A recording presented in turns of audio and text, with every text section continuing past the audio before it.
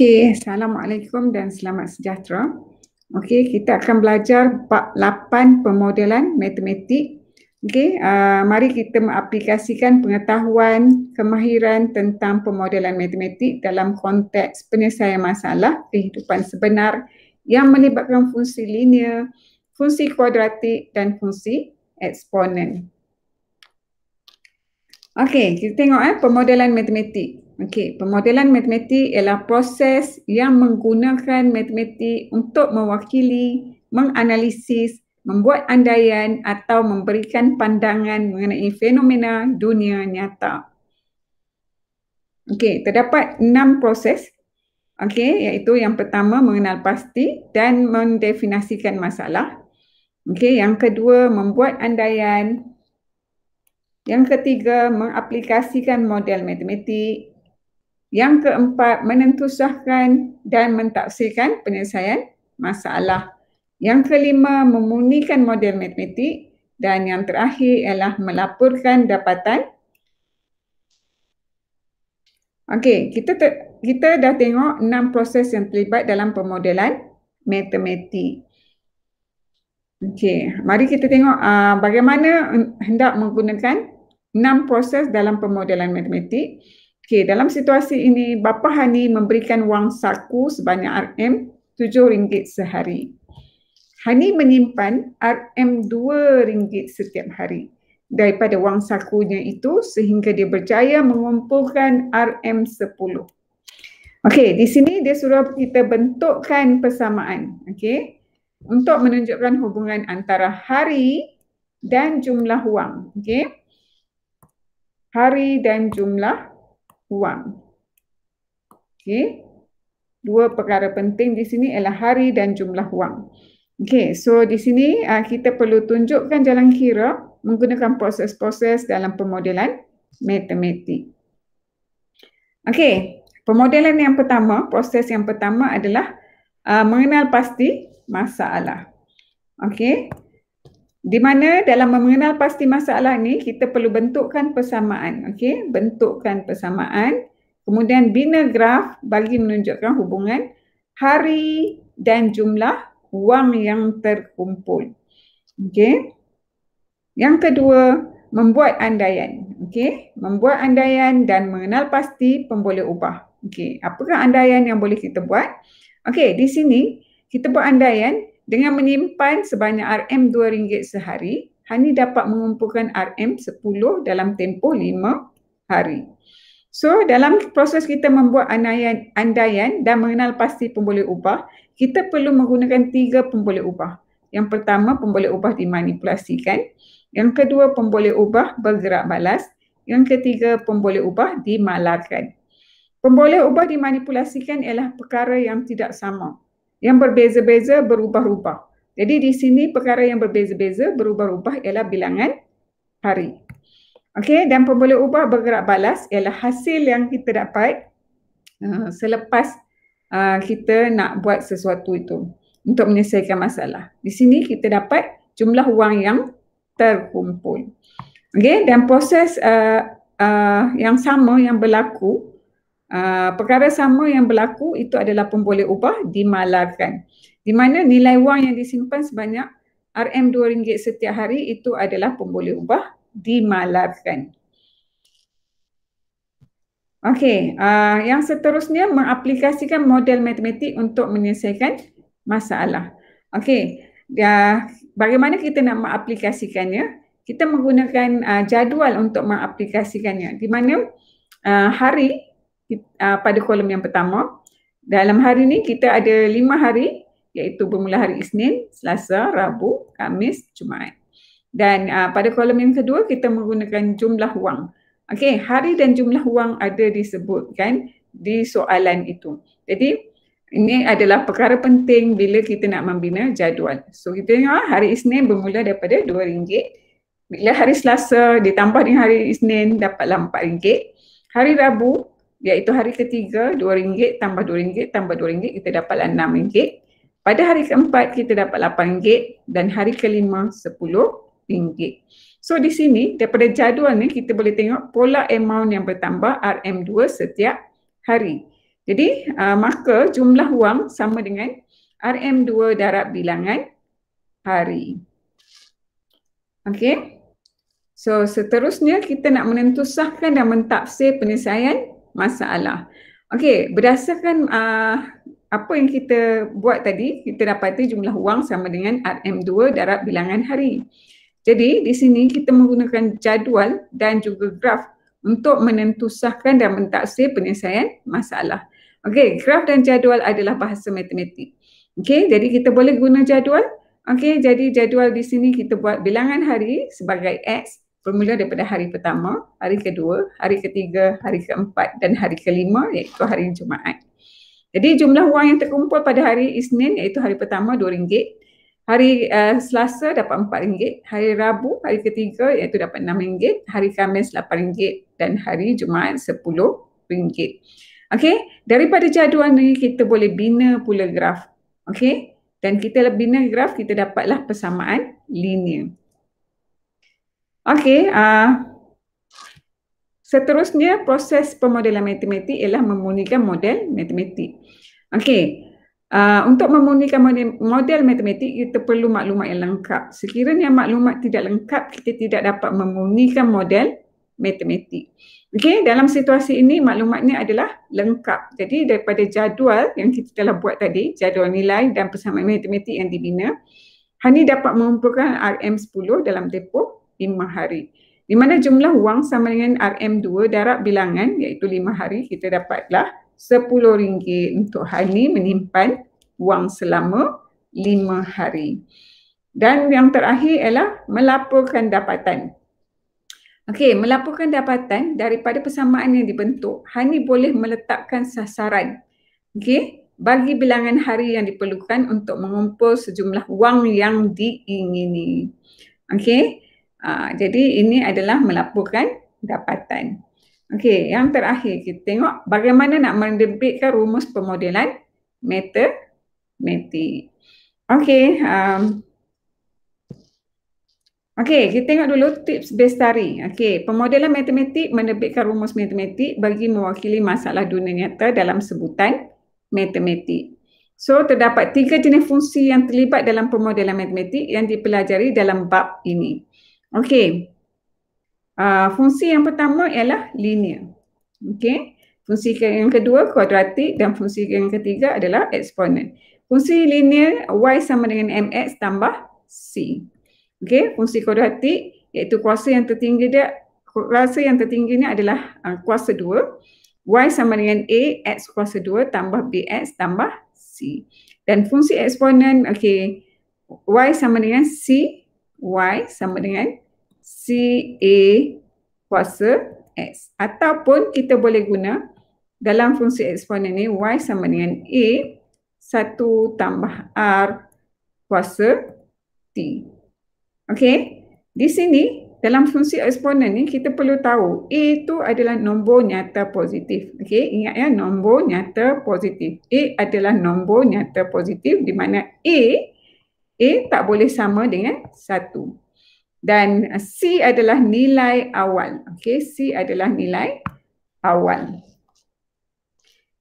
Okey, um, dan seterusnya kita tengok di sini uh, untuk uh, situasi yang pertama ni seorang pengusaha catering mengenakan bayaran sebanyak RM200 dan bayaran tambahan RM25 bagi setiap tetamu yang hadir.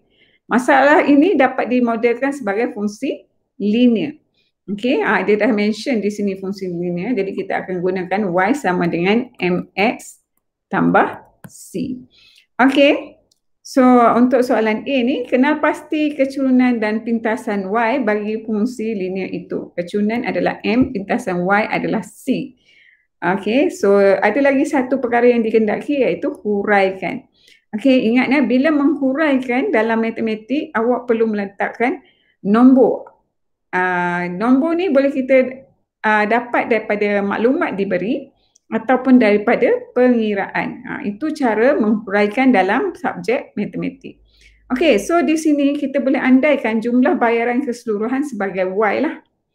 Okey, jumlah bayaran keseluruhan sebagai Y.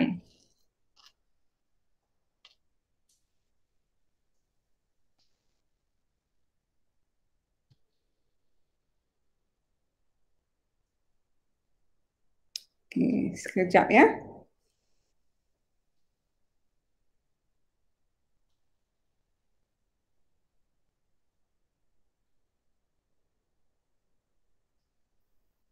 Okey.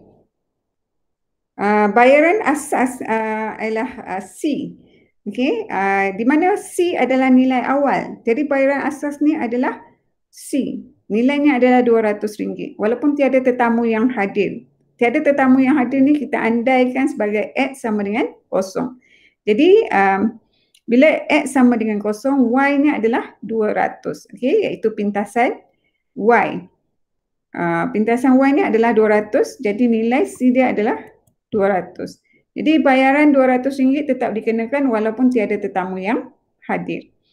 Okey, um, so di sini uh, bayaran tambahan bagi setiap tetamu kita uh, namakan dia sebagai M iaitu kecurunannya adalah RM25. Okey, uh, dan di sini kita dapatlah uh, menyatakan bahawa perubahan bayaran iaitu penambahan bayaran sebanyak RM25 apabila seorang tetamu bertambah. Okey, uh, itu dia huraiannya untuk uh, soalan A dan untuk soalan B uh, dia nak kita bentukkan satu model matematik dengan fungsi linear yang mewakili situasi di atas situasi yang uh, diberikannya tentang pengusaha, pengusaha catering. Oleh itu model matematik yang sesuai untuk situasi ini ialah okey, uh, bermula daripada persamaan linear mx tambah c. Okey, di mana m dia kita dapat tadi m dia sebagai 25, c dia adalah 200. So gantikan nilai 25 x tambah 200. Okey, ini adalah model matematik yang kita perolehi. Okey, so soalan seterusnya. Uh, hitung jumlah kos yang perlu dibayar jika terdapat 200 orang tetamu yang hadir.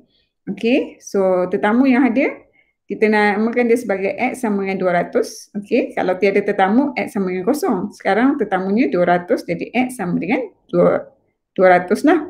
So, kita guna uh, model yang kita dapat tadi tu, 25 X tambah 200.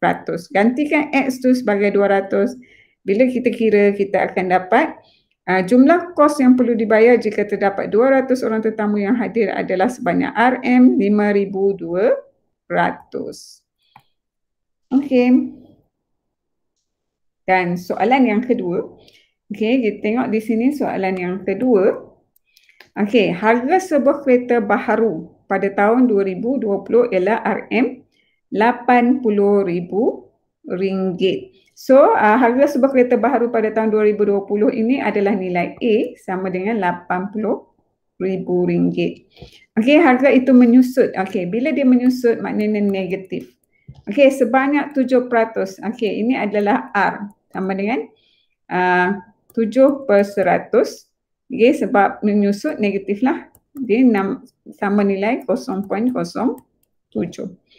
Okay, so bila kita nak bina model matematik, kita akan guna maklumat di atas lah. Okay, oleh sebab berlaku penyusutan, penyusutan harga pada kadar yang tetap dalam peratus, kita kena guna rumus eksponen. Okay, cikgu ulang semula, oleh sebab berlaku penyusutan harga pada kadar yang tetap dalam peratus, jadi rumus eksponen perlu digunakan. Okay, so kita akan guna uh, rumus eksponen. Okay, yang cikgu telah hijaukan ni.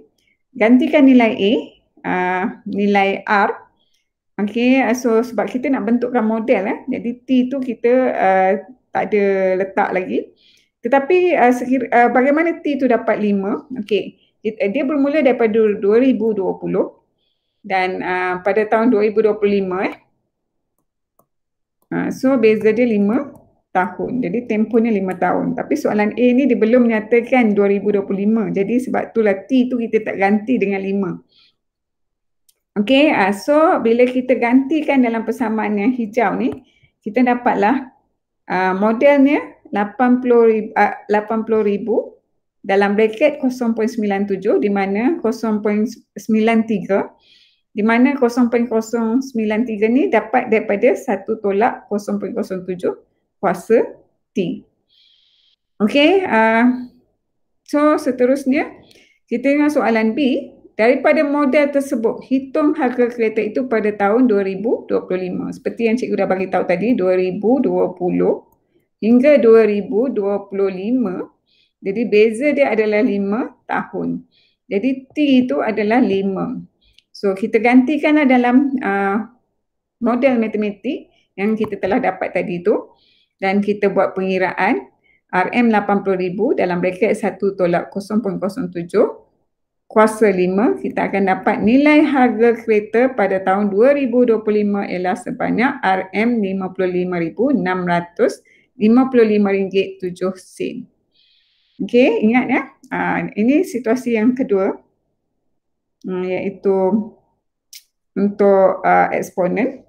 Dan untuk yang ketiga. Okey, yang ketiga. Sebuah roket dilancarkan dari sebuah pelantar. Okey, dia dah bagi dah model di sini. Okey, model matematik telah diberikan. Okey. Cikgu highlightkan dengan. Pen warna purple So, H sama dengan negatif 5 T kuasa 2 tambah 40 T tambah 3.